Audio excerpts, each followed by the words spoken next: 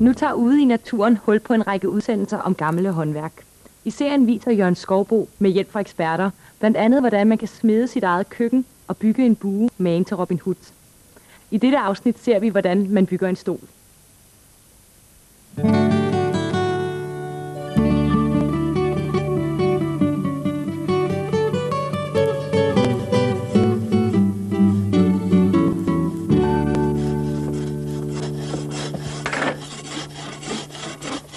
Ja, det var godt. Se, nu skal vi øh, de næste tre dage prøve noget, som ikke ret mange her i Danmark de har prøvet før. Vi skal prøve at lave sådan nogle stole der i frisk fældetræ. Og de skal samles uden brug af lim, søm og skruer. Mm. Tror du, vi kan det? Ja, selvfølgelig. Vi skal lige over og, og møde Peter Herste fra Sløjdlærerskolen, som går over i skoven og er ved at finde noget til os. Ja. Så skal vi ikke gå derover. Tager du din sav med? Ja.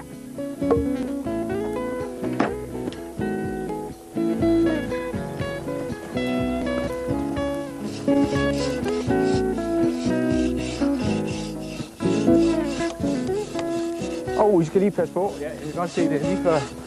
Hold da op. Det er en ordentlig bamse, hva'? Ja, det er en hassel. Ja, som gerne skulle komme ned nu her. Jeg tror, den ligger så fast deroppe. Sådan. Sådan. Pas på, Peter. Pas på. Nu kan jeg sjovt over. Sådan. Ja, det var så materialerne. Ja. Ja. Så skal vi til at finde ud af, hvad I, hvad I kunne tænke jer at lave. Ja, Jeg har taget et lille udvalg af, af stole med og skamle, så I øh, kan få lidt inspiration. Øh, hvad siger du, Michael? Ja, jeg vil godt lave sådan en skammel her. Ja, Så som den der. Ja. den er flot. Den er fin, ja. Men, så den, den skal vi have med over. med de der buede ben der. Ja. Ser flot ud. Den kan du tage med over. Ja. Og så skal vi have taget mål, fordi det vi skal lave i dag, det er, det er sprosserne. Sprosserne er, er de pinde, som går imellem benene, og dem vi skal lave i dag, for de skal tørre. Og vi er rigtig godt tørre, før de skal sættes i, mm. i de våde ben. Så skal du se, så har jeg nemlig noget med, som jeg har tænkt mig, At jeg kunne tænke mig, ja da. Og den har jo nok levet sin tid, må man sige. Selvom et nyt sæde ville vi jo nok kunne give den lidt. Vil vi kunne lave sådan et, et nyt sæde her Ja, også? det vil vi sagtens kunne. Kunne jeg lave sådan seks med tiden, så, så er det jo fantastisk. Ja. Men du kan jo begynde med den første. Ja. Jeg har puslet lidt med, et- med et projekt, en gammel øh, stol fra, fra Frilandsmuseet, som jeg har lavet en lille model af her, som jeg godt kunne tænke mig at lave i, i stor format. Den er flot. Rigtig flot. Ja, den er flot. er det et stykke dansk? Det er et øh, stykke dansk øh, bondekultur, Ja. ja. sige, ud fra en dansk tradition, og det synes jeg er spændende Ja. øh, at, at dykke ned i. Ja. Og Fælles for stolene er, at de er samlet i en kombination af, af frist og tørret træ. Og her er det, jeg kalder en, en spross, som er, er mellemliggeren på en stol eller en skammel. Øh, den er, er lavet først, og så tørret. Ja. Her har vi benet. Det er frisk træ. Og så fører vi den, den tørrede spross ind i det friske træ. Og tanken er så, at den skal bankes i. Øh, den skal være lidt overdimensioneret i forhold til hullet. Banker vi den i, og så vil svindet i det friske ben låse omkring tappen og gøre, at vi får en samling, hvor vi ikke behøver at bruge lim. Banker. Stop. Hør. Så går vi herover. Langsomt prøver du at flække. Så prøver vi at følge den ned efter. Der var den. Det ser meget fint ud. Så skal vi flække den en gang til, for vi skal firkløve det. Okay. Vi skal huske at ramme lynlåsen, og lynlåsen sidder der. Mm. Og hvis vi rammer lynlåsen, så flækker træet helt lige ud. Der. Sådan. Så går du over i, i bænken derovre. Sådan. Jeg skal lave en sprosse på den længde der, Ja, det ikke? passende længde her. Ja. Og så trækker du den vej igennem. Okay. Og så skal du bare lave den lige og glat på den her side.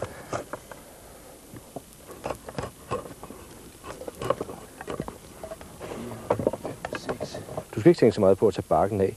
Du skal mere tænke på, at den skal være, at den skal være firkantet. Og det er fint, du. Så lægger du den fra dig. Og så tager du bare den næste. Og så fortsætter du. så de ser lige sådan ud. Nu går den der, Jørgen. Det, det Det er går. en ordentlig sag, du har fået fat i der. Jamen, jeg, Og der er nogle, der er nogle kvist i, som gør, at udflækningen nok er lidt... Er lidt ja, men jeg skal bruge to sprosser til store, ikke også til, til ryggen deromme. Og det går fint fri. Den kom lige over på den anden side. De er da gode til rygstykkerne, er det De ikke er gode til rygstykkerne. Ja, det er sådan.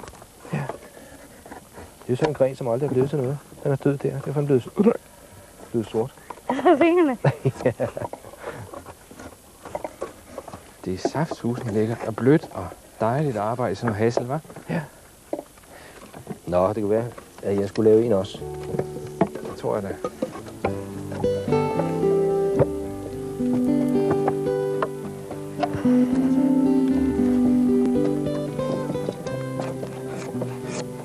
De her sprosser, som vi laver, Ja. de skal tørres natten over.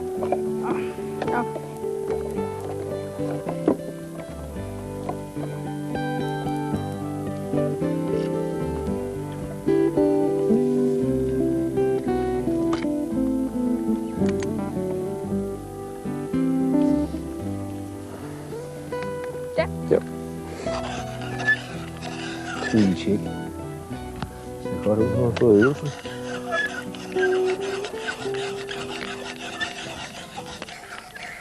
Jeg skal lige kunne se stregen. Stop lige en gang. Jeg skal lige kø- prøve lige at køre en halv omgang, så jeg kan se stregen. Åh, oh, jeg skal lige kunne se stregen hernede. Lige køre en der. Se, der var den. Der var stregen, så har vi nået målet. Det måler vi lige en gang. Det ser meget. Den bliver en anelse større.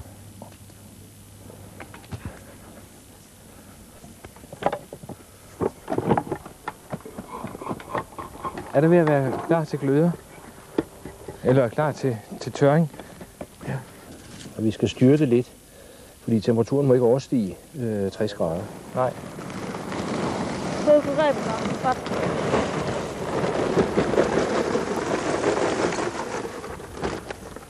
Sådan.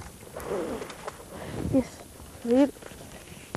Peter, hvad er det for en, en øh, hvad er det for en, du har med der, vi laver mad på? Det er trummen fra en vaskemaskine, Ja. som jeg har pillet ud. Ja. Og øh, når man så tænder et bål deri, så får man komprimeret varmen Ja. meget kraftigt. Ja. Og det er helt perfekt til at lave kinesisk wok med.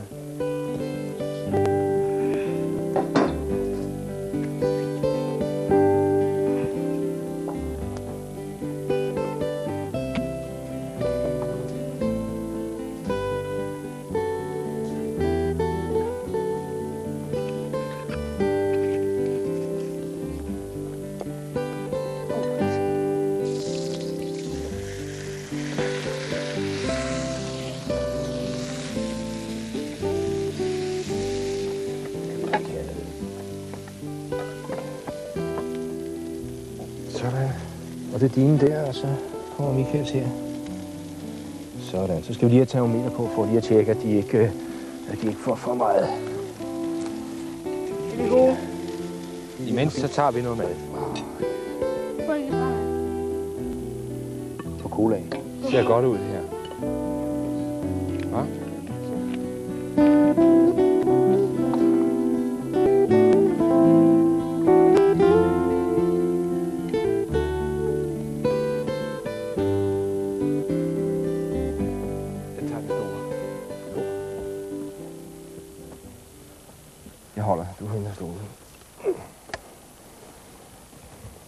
Det er cirka der. Lige bag den knast der. Ja.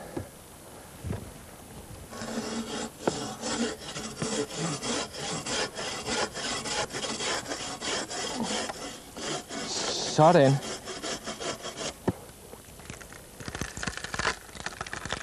Åh, oh, det lyder rigtigt. Og så vil jeg lige sætte kiggen i der. Prøv at, at gå tilbage sådan.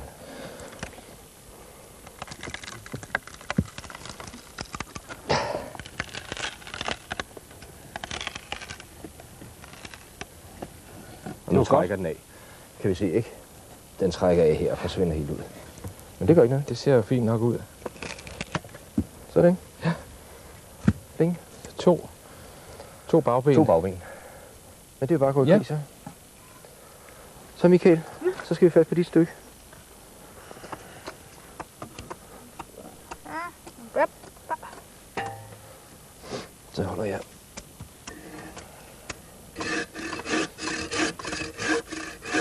Sådan der. Ah. Så kløver du den ud i fire stykker til dine ben. Der. Og måske skal du vælge den flade der, ret den flade op, og lad den være udgangspunkt for. Den her, Ja. ret den op, hele Ja. vejen ned. Ja. Så vi prøver at sige, det er der, vi kører. Bare for at lave det lidt stort nu. Ja. Der. Og så skal du så tåle ikke for, for meget af der. Øh, Peter, det vi sidder og laver her, er det noget, vi, vi, der er kendt tilbage i tiden, eller øh, i Danmark, eller er det noget engelsk, amerikansk? Eller? Ah, det er i høj grad noget, vi har haft kendskab til i Danmark også. Øh, hvis vi går 100-200 år tilbage, øh, så ville man rundt på, på gårde og et, et, i skuer, som, som dit her, øh, kunne se snittebænke stå. Og de har været i brug, og båndkniven har det været det værktøj, man har brugt øh, på bænken. Ja. Og man har lavet alt. Øh, de ting, man har haft behov for. I sin egen husholdning. Det vil altså måske stole. Det har nok været en, en stolemager, som har lavet stolene. Men hvis man har brug for knæge eller noget andet øh, i sit hjem, så har man lavet den på sin snittebænk, ja. Og den kan jo noget, som en, en høvbænk ikke kan. Altså man kan lynhurtigt øh, slække og spænde op Mm-hmm. og flytte tingene. Ja. Og det er jo så det besynderlige, at sådan en er forsvundet ud af, af billedet. Og hvad med sandpapir og sådan noget? Brugte man det? Ja, Jeg ved ikke. Altså, jeg, jeg foretrækker jo det, det skårne ydre, og på det våde træ kan man ikke bruge sandpapir. Så hvis man vil pusse af, så skal det altså ske, øh, når, når tingene er tørre. Men jeg synes, når man sidder og arbejder med hånden og med skærende værktøjer, så skal man bevare det, det, det slittede ydre. Der findes et gammelt øh, dansk ord, som er forsvundet ud af vores sprogbrug, som hedder at tælle, tælle eller tælje. Og det er det her, som vi, vi gør nu her, at grovsnitte. Øh, en mellemting mellem at hugge med økse og snitte med en kniv. Det er det, du sidder og gør her, at, at tælle. Snittebænken øh, hedder også i, i nogle sammenhæng en, en tællestol. Men du får jo en større styrke. Kan du se her? Kan du se, hvor den er sprækket? Ja. Den er gået lige præcis der. Den er sat ud af et, et retvokset stykke. Ikke? Ja, har det... Så den svagheden ligger lige præcis her. Og især hernede kan du se, det er lige før, at den flækker. Den Ja. simpelthen flækker af. Hvis jeg lige satte stemmejern i her banket, Ja. så vil den bid ryge af. Ja. Men det vil aldrig ske med din. Hvorfor? Fordi at fiberne ligger som sugerør i den bue her. De ligger intakt. Så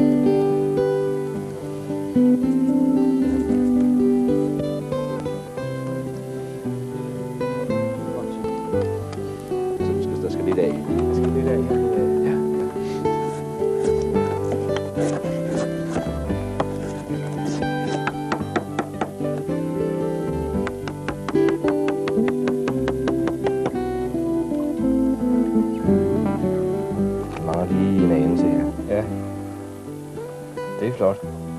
Hvad er det? Det er et hul. Det er et hul. ja, det, det skal det være ja, det er til benene, tre ben, ikke, der går ned. Dem skal jeg så dreje konisk. Jeg vil sige, det er et spændende hul. Ja. Men den mangler lige lidt finpudsning for at kunne gå helt ned her. Den er, den er herremanden så siddet i, eller, eller bunden. Ah, det er nok bunden. Ja. Det er nok bunden, og så kommer, så skal det, vi skal dampbøje de her. Og de skal ind og sidde her. Ja. Og så ind og sidde i, i ryggen. Ja.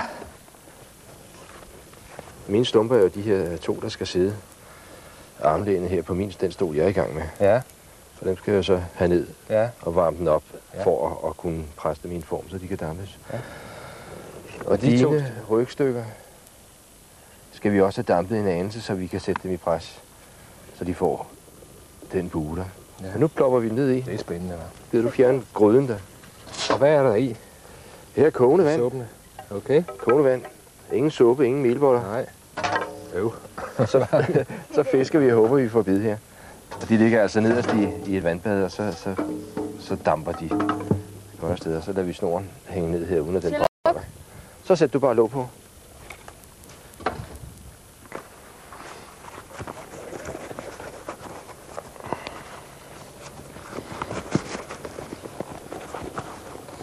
Det er noget, der Så skal, det- gå tæt, det her, Det skal gå tæt, ja. Det skal det. Sådan. Og i der. Og låg på. Skal lidt højere op. Og så den rette sig lidt tilbage. Jeg tror, vi er ved at være der, ikke? Så er det ikke meget plads Jo, jo, jo. Så skal den tørre. Ja. Over på, på risten derovre, som sprosserne. Og så til hest med din. Så er det den anden derovre.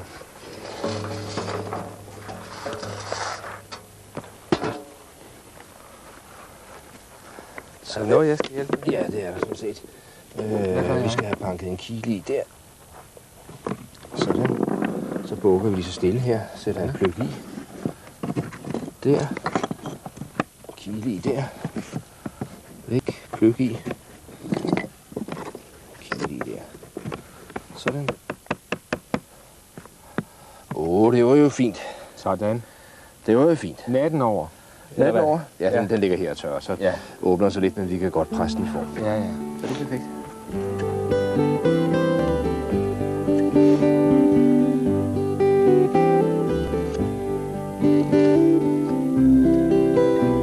Jeg tror, der har været dramatik på i nat. Tak skal du have. Her klokken øh, næsten ja, ja. 24 i nat opdagede jeg pludselig, at der var 80 grader, og det hele var faktisk ved at brænde af, Michael. Ah, det går nok. Det går ikke godt. Jo, det gør det. Nå, vi skal jo se i gang. Ja. Michael, vi skal have afkortet dine øh, sprosser. Så dem skal vi gå over og save ud nu her. Og så skal vi bore huller bagefter. Hvis du sætter en streg der, du tager saven. Ja. Ikke også? Og så kan du gå og save. Nej, tak, tak, hvis det... Nå, nå, nå, nå, nå, nå. Okay, ikke? Vi sætter fingrene der. Sådan, så saver du der. Så langt skal sprosserne være. Godt.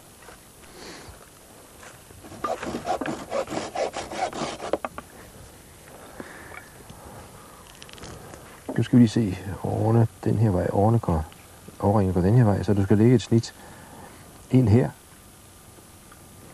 Og så lige trække den lidt der. Så får vi ligesom en lille modhage. Hvad siger det?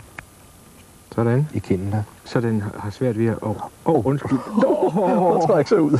Sådan. Ja, var det ikke svært? jo, det var det. Og om på modsat side. Ja. Ej, det må du undskylde. Det kan jeg ikke spore. Så kan vi nemlig bruge vatterpasset igen.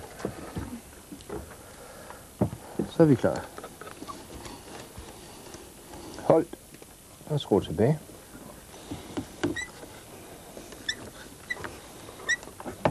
Rak. Sådan. Så kom du med her, Michael. Så, prøv, så kan vi faktisk klar til at samle dine, dine sider her. Yes. Det er den her. Det der er et hul i der. Ikke også? Som gør, at vi ikke beskadiger øh, tappen her, når du banker i. Og lige så forsigtigt banker du den så i. Lige så forsigtigt.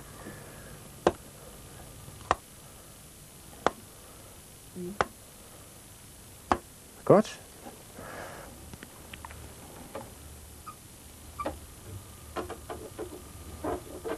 Ah, se, her har vi lidt et problem, fordi den går faktisk lidt for løs i.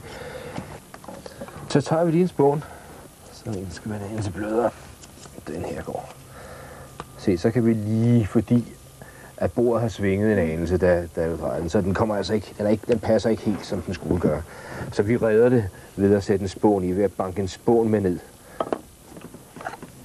Du prøver. Skal lige have hatten på her.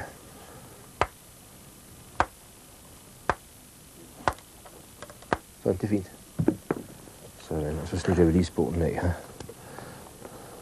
Godt. Så er du klar til at få et, et sæde på. Yes. Og der kan du jo enten sætte søgræs på. Altså noget søgræs. Eller også så kunne du sætte noget, øh, sådan noget jord på. Så jeg har noget hørgjord, som, som vi kan flette på her. Men det er op til dig, hvad du synes. Jord. Jord? Nej, jord. Jord, ja. Men det gør vi så. Rigtige danske kramper til den rigtige pris. Det må være det, vi skal bruge.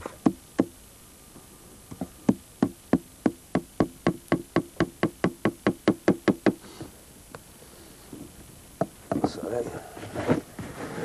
Så får på det over her.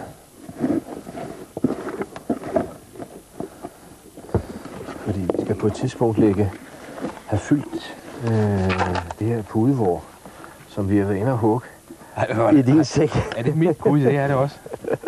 Har I været inde og nakke det? Det er jeg bange for, at du er nødt til at ofre. Nå. Og det skal, det skal ind imellem som polstring her. Ind imellem her. Når vi når lidt hen, så skal vi lige holde en pause, og så skal, øh, skal vi have samlet noget, nogle spåner, og så skal de ind og ligge her imellem.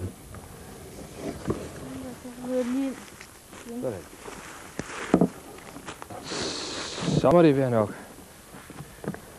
Sådan, så hvis du fylder lidt i her. Det er ikke så voldsomt meget. Det skal ligge i som en, en, en polstring. Sådan. Det er mere rigeligt, tror jeg. Mere rigeligt. Det er mere end rigeligt. Godt, Michael. Tag ved. Kom så. På dine små fingre.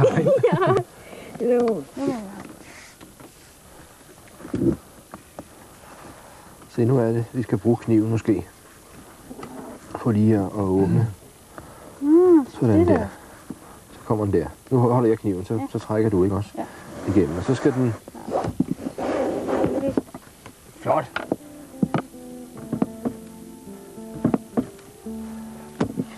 Skal du lige op og sidde? Kom så op. Falder ned. Jeg tror lige, I løfter igen. Sådan. Færdig. Ja. Det var der. 10 minutter. Ja. Ja.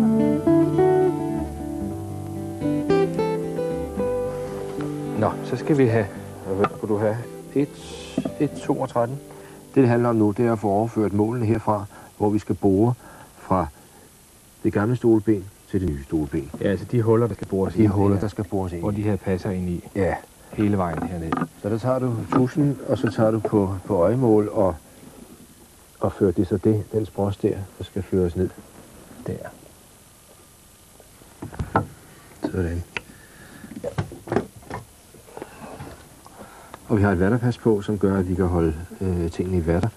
Vi har en, en dybde her, som angiver. Og det er et 18 mm bord. Det er et 18 mm bord, det her. Ja. Så nu sætter du det i. Er det en prik? Det er en prik. Du sagde jo ikke skulle lave en større. vel? ja. Og så ved du lige præcis, hvor du skal ramme, ikke? jo.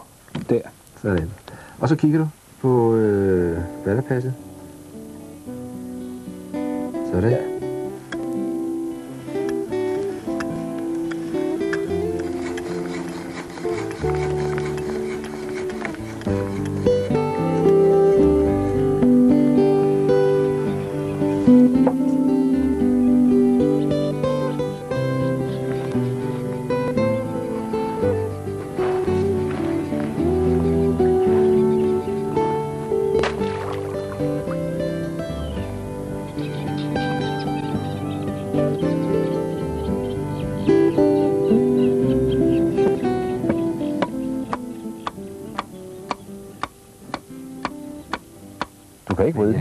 Jeg den. kan ikke, rette den ud, kan jeg det? Ikke spor. Hvad Den gør er, vi så? Så bliver det sådan. sådan. Skal vi stoppe der? Den er lige. Det Det var godt, du. Og vi skal lige have samlet stolen før, at Vi smækker det i noget sort plastik. Sådan. Det kan vi leve med. Det er godt. Sådan her. Så skal vi have et andet ben.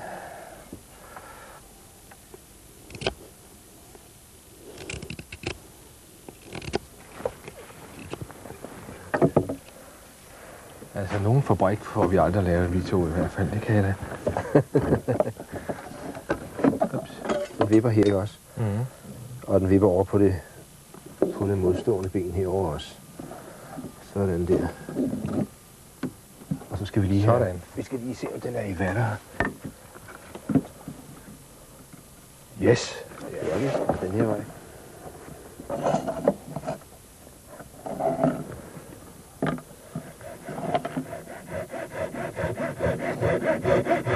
Vi lige se, om den har samme højde? Jeg tror, den er højere. Det skal den også Du være. bemærker vel, at den ikke vipper, ikke? Se, det er... Det passer meget godt. Ja. Og den vipper ikke. Ikke spor. Sådan. Ja. Jeg har lige... Nå, du vil give den noget patinering? Jeg kunne godt tænke mig at prøve, selvom Ja, jeg det glæder mig til at se. om det er noget, man gør. Men jeg kunne godt Ja. tænke mig at prøve at lege lidt med den der idé. Ja. Ikke så meget, men så meget. Ja.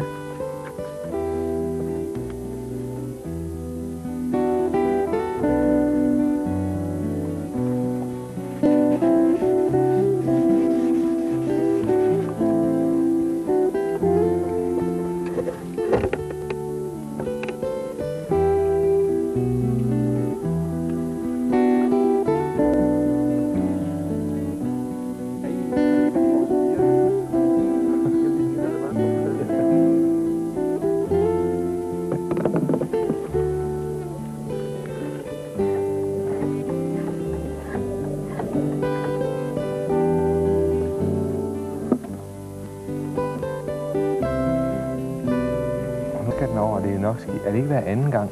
Nej, nej, det er Nej, det fuldstændig okay. samme, du gør hver gang. Så skal den Der. over. Over. Ja.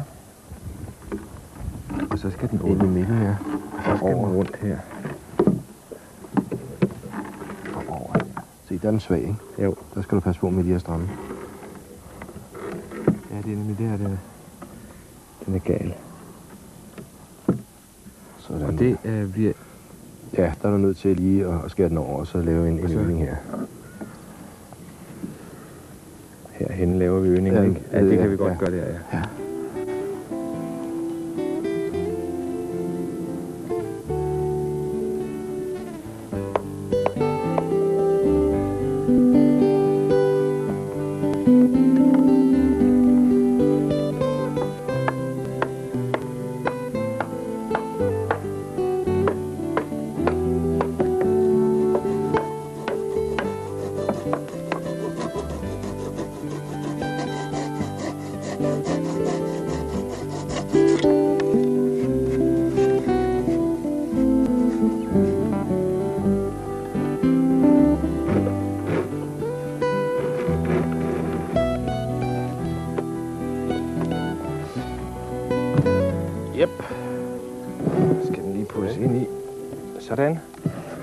Så er den færdig. Så skal vi sammenligne dem. Ej, nu skal du lige, du skal lige sætte dig Skal- i det, for skal vi se, lige den er, prøve? Ah, den er bedre end den der. Den, øh, hældningen er bedre faktisk. Den har en lille smule mere hældning på. Ja. Ikke? Men... Efter kopi næsten. en ægte kopi. det er godt guidet, Peter.